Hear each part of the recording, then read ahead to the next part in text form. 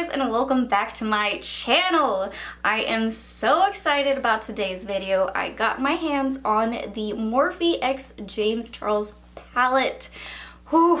I have not been so excited for a makeup palette in a really long time. You guys probably have already seen it, but if not, I'm about to show you it. So this retails for $39 on both Ulta and Morphe's website. And here's what the outside packaging looks like. On the back here, it has his message to his subscribers, who he calls his sisters. And when you unbox the actual palette, it is in this matte black packaging, which I can really appreciate because I think a white would get really dirty really fast. And here are the shades. Just look at that. So there are 39 shades in here and that works out to be a dollar per shade. So that is not bad at all. I am so excited to start playing with this palette. It just looks so beautiful already. I do want to do some live swatching because there is one thing that I just could not see all over the internet. As soon as James did his reveal video, there was a lot of people speculating that he did fake swatches. So what I want to do is some live swatching for you, show me swatching every single shade out, all 39 colors. That way, if you are curious as to how they swatch, you get to see it live in action. I'm gonna show you my arm before and then going in with a swatch. That way you have no doubts about how they are being swatched. So I'm gonna get started with that first. So let's go ahead and jump into the swatches. So I'm gonna start with row one going from left to right. And the first shade is called Canvas which is a matte cream shade and it really doesn't show up on my skin tone. We then have Ring Light. Third is So Good. Fourth is 518. Fifth is Rusted. Sixth is Halloween. Seventh is Wig. And eighth is called Tea. So here is the first row swatched out. Second row, first up we have Punch Me, which is such an interesting name. Then we have the shade called Sister. Third is Mary. And fourth, we have the shade Literally. Fifth is You're Kidding. Sixth, you're, oh not you're shook, it's shook. Seventh is called boutique. And eighth is called Benny. And there you have the second row. So first up we have flashback. Second we have face. Third we have tune. And fourth, we have code James. We then have 10% off, no beans, and spooky. So here's the third row swatched out. Moving on to the fourth row now, we have the shade called B. We then have Guac, Third is hello. And fourth is playground. We then have brother, artistry. Ooh, that one looked pretty. Love that. And lastly, pinkity drinkity, which is probably way too light for my skin tone. kind of blends in there. But here we have the fourth row, last row now. So the first shade we have is called Social Blade. The second is Daddy. Oh, shoot. I grabbed swatches with the four fingers at a time, so that kind of dipped down there. Whoopsie. We then have Cape Cod, Cola. Fifth, we have Acapella. Six, we have Escape. Ooh, it looks like a good purple. Seventh, we have Single. And lastly, we have Skip. So here is the last row. And I don't know, it could be different swatching techniques where he's able to get a lot more pigment off on his arm. I don't want to assume anything. When I watched his reveal video, I didn't suspect anything. So, I mean, you can form your own opinion, but I just wanted to include those live swatches. That way you guys could see them in action for yourself. Oh, and inside of this palette, I did forget to mention, I think there's three different kinds of formulas. There is a pressed pigment and a regular eyeshadow, and then the shimmery shades. The pressed pigments are ones that you have to work with differently. You have to pack them more instead of just trying to sweep them across the lid. So I'm gonna try my best to remember which ones were the pressed pigment and use them in a different method when applying them to the lids. So I think we just need to start applying some of these shadows and see how they perform on the lids. So I'm gonna zoom you guys a little bit closer and we're gonna get into this. And before anything, I'm gonna take some of my Urban Decay eyeshadow primer potion in Eden and work that into the lid so that way we have a good base to lay the colors down. So it's going to be two different color schemes on each eye.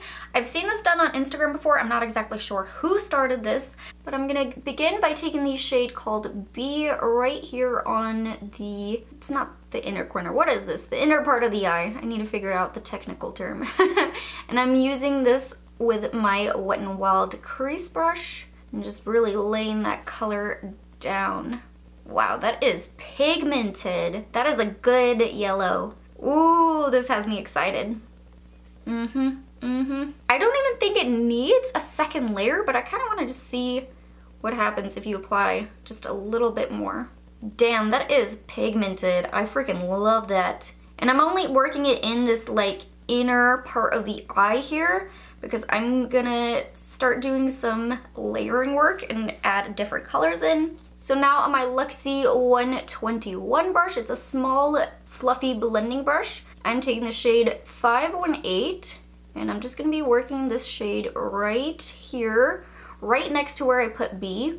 So I'm just trying to lightly blend these two together, trying to make it look like it just forms to this shade and just kind of blending it down into that yellow as well. Trying to really merge these two together.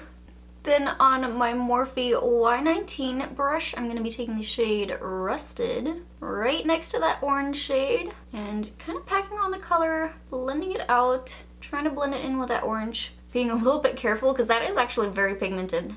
I'm just kind of stippling that color in, like really pressing it in. If you need to help blend it into the orange, pick back up the orange brush you were using and then kind of brush over it. Because you don't want to bring too much red into the orange, so what I'm doing is just kind of taking what's left over on the brush, sweeping it over that little crease into the red. That way you're not bringing it in too far in there.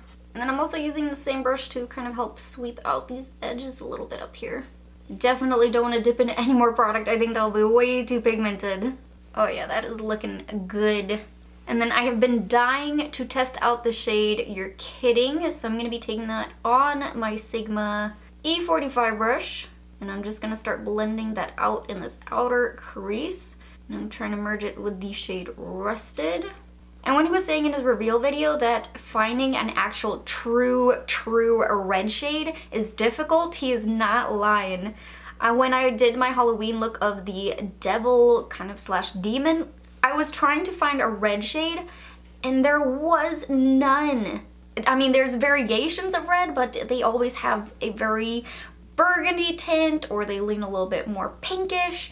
There's not an actual true true red and I was using a very red face paint and trying to match that was so difficult. I honestly could have used this shade then because that does look very red. Taking just a little bit more and just kind of packing it right here bringing it down like so, kind of sweeping it out here. And then I forgot to do that with the shade Rusted, so I'm taking just a little bit more on that Y19 brush and bringing it down a bit, laying it on top. And teensy bit more of 518 and laying that on top of Rusted. Because I am going to be doing a cut crease, but not sure how far I'm taking it in yet, so I need to lay down that shadow there. And then I'm gonna get back to that in just a second. I'm gonna move on to this eye and I'm gonna do the same kind of method here. but different colors. So I'm taking the shade called Social Blade, which was a bright green shade, on my Morphe Y17 brush, and I'm just kind of blending that in this inner part of the eye. I'm just reapplying just a little bit more there. Man, that is a bright green. Also looks so true to color when you blend it out. A lot of shades can go a little bit darker. That still stays looking very vibrant. Man, I need more blending brushes to do a look like this. I'm gonna take the shade called Playground, which is the lighter blue shade, and I'm gonna start packing that right next to where I put that green shade. This time I'm using my Makeup Geek Soft Dome Brush, and I'm just kind of packing that color in right there. Dang, that is a blue. it honestly keeps surprising me. There's so much pigment in this when I dip in to pick it up.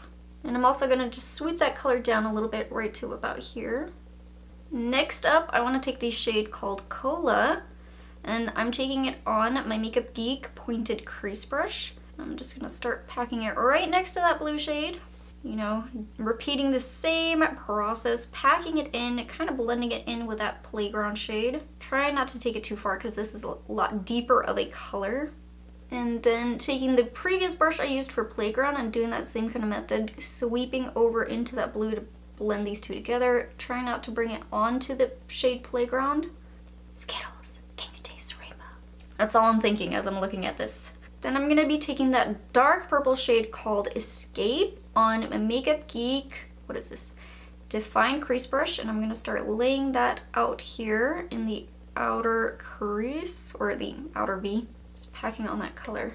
Man, I feel like I need to dip less into the palette, build it up.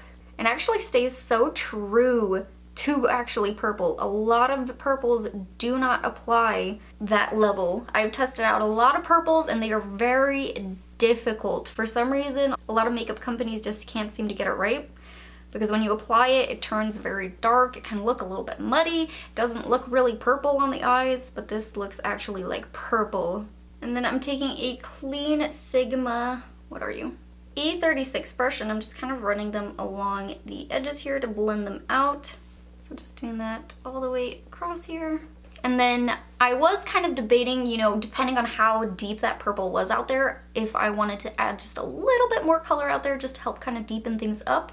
So fingers crossed that this works. I'm going to take the shade Love That. See if we can uh, just put a little bit more depth out here. Which this is more of like a magenta shade and I'm just trying to add a little bit more dimension to make it look a little bit deeper just right here. So that way you can kind of match how deep it was out there. Because you don't want one eye to look darker than the other.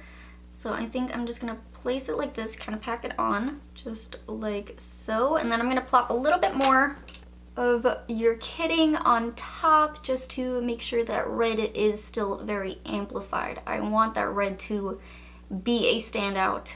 I'd say that works. Next, I want to do a cut crease action, so I'm going to take a little bit of concealer on the back of my hand. So I'm going to plop a little bit of concealer on right here and then look up that way I can kind of get a line of where this concealer wants to go. And then just start filling it in. And then I'm going to bring it to just right about here. And then just taking a flat little fluffy brush and kind of tapping out these edges so they blend outwards. Repeat that to the other eye. Then once that has been properly cut, let's um, take an all over the lid color there. What do I want to use? There's a lot of options. I do want to apply a shimmery shade instead of like a matte white because I want to test out the different formula of the shimmer. Alright, I'm going to be a neutral Nelly and I'm going to go with the shade called Ring Light and start packing that on the lid because I wanted something that had a little bit of a neutral tone to it. It was still a shimmer, but it didn't have like an undertone of a pink or, you know, a blue, because otherwise, you know, they're a little bit different in the tones. So this one seemed like a safe choice to complement both. I feel like I wanted to go in a little bit more with that shadow, so I'm going to take just a tiny bit more concealer, just try to round it out here. I was short by a little bit. So I'm just extending both sides just a smidge more. Because looking at it, I was like, hmm, want a little bit more outwards. So just taking a little bit more of that shade called Ring Light on top of the concealer we just placed. And then I want to try to blend these edges with the colors I have out here on the crease. So I'm just going to start building up a little bit of shade. So I'm taking 518, which was that orange, kind of layering it on top like so. And then just repeating that, adding a little bit of the shade called Rusted. Same thing over here, I'm taking a little bit of the shade called Playground, lightly tapping it on top, and then with Cola. And then a technique I like to do in order to help kind of define things a little bit more is take my Sigma E17 brush and any shade that you feel like it just needs a little bit more precision, I like to just kind of pat that same shade just right along where we cut that crease in case you need to define it just a smidge more. Like say your concealer went a little bit too high, you want to bring it back down or you just want to amplify that color just right where it was cut a little bit more. This is one of my favorite techniques to do. So I'm just taking a little bit of the shade called Playground and doing that because I felt like the concealer went a little bit high and lost a little bit of that shade. So I'm just kind of stamping it on like so. And then using my color switch, I'm cleaning the brush and doing the same process with Social Blade. Same thing here on the other side, going in with 518. And lastly, with the shade called B. Yes, I love it. All right, I need to apply a base of makeup so that way we can move on to the under eyes and finish everything off. So I'm gonna do that super quick off camera and be right back. Now I'm gonna finish things off with the lower lash line. So I'm gonna be taking the shade called Love That on my Moda medium eye shader and I'm gonna take this all the way across just like so and I'm using what feels like the lightest hand in the world. I'm not even like really pressing hard on this brush. And the pigment coming off is insane. Like I wish you guys could see like just like boop, boop, boop, just like that. And then I'm gonna be taking that same brush I was using as like the tiny cleanup and blending out there to just kind of run along this. Make sure everything blends. I feel like we don't need to overcomplicate the lower lash line here, so I'm gonna move on to the other side. And I'm gonna be so careful I'm gonna take the step one brush to stamp that all the way across. It's kind of like the medium shader, it's a little bit of a flatter brush. And just using the lightest of hands. Trusty color switch, gonna go in with that same fluffy blending brush. And just sweep that color out. I think that's the trick to these. They are so pigmented, I think you wanna lay the color down and then go in with a clean blush not blush, brush and blend it out in that method because otherwise, I mean, there's just so much pigment. All right, next stop the lashes. Let's find the mascara. I'm gonna be taking some of the NYX Worth the Hype and I'm gonna coat up the top and the bottom lashes. And then this look cannot be complete without some lashes. So I'm to pop on my Huda Beauty Scarlet number 8s. I feel like they are dramatic enough for this look. Then I am not done yet. As you can tell, I don't have any highlighter on my face. I want to take this shade called Face and uh, see if we can just use that as highlighter today. Oh my gosh. That is a uh, yes. So I'm just gonna apply this to the cheekbones then. Yep. My gosh, that is blinding. A little bit down the bridge of the nose. But here we have it, the final completed rainbow eye look.